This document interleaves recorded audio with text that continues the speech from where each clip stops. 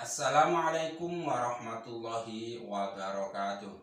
A'udzu billahi minasyaitonir rajim. Bismillahirrahmanirrahim. Alhamdulillahi rabbil alamin. Allahumma salli wa sallim ala sayyidina Muhammad wa ala ali sayyidina Muhammad amma ba'd. Kaum muslimin rahimakumullah.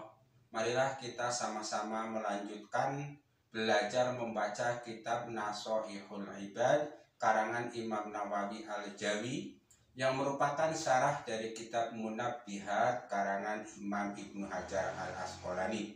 Kali ini kita sampai pada bab ketiga makalah nomor 37. Pada makalah nomor 37 ini Imam Ibnu Hajar Al-Asqalani menuliskan Wa an Malik karamallahu wajha annahu qala salasun yazidna fil hifdi wa yudhibna al balaghama as-siwaku wa saumu wa qiraatul qur'ani. Jadi Sayyidina Ali karamallahu wajah mengatakan bahwa ada tiga hal yang membuat hafalan menjadi kuat dan kemudian menghilangkan bulogom atau riak ludah yang berlebihan. Jadi ada tiga hal yang membuat kita menjadi cerdas dan terbebas dari riak. Apa itu? Yang pertama siwak, sikat gigi, syukur-syukur pakai kayu kira. Yang kedua berpuasa. Lalu yang ketiga membaca Al-Qur'an Al-Quran dengan kata lain kalau anda kepengen menjadi orang yang pintar cerdas hafalan kuat plus sehat maka lakukan tiga hal ini apa yang pertama siwak atau menyikat gigi yang kedua membaca Al-Quran lalu yang ketiga itu berbu berpuasa. Sekarang coba mari lihat apa penjelasan Imam Nawawi.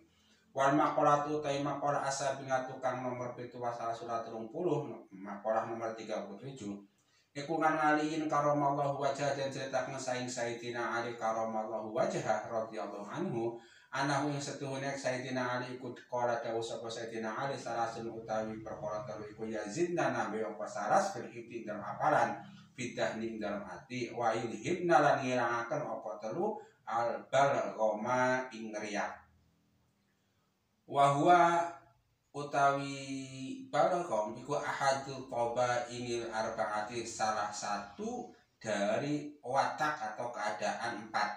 Nanti rupanya empat? Wahia al balghamu sijine bulugham atau riyak wadamu dan kaping pindone getih wasaudau dan cairan hitam wasoproku lan kuning asiwaku wasomu wa qiraatul Quran. Mudah-mudahan bermanfaat. Jangan lupa like dan subscribe channel ini. Rabbana taqabbal minna innaka antas samiul alim. Wa tub alaina innaka antat tawwabur rahim. Subhanakallahumma wa bihamdika asyhadu an la ilaha illa anta astaghfiruka wa atubu ilaik. Wa na'afa minkum wassalamu alaikum warahmatullahi wabarakatuh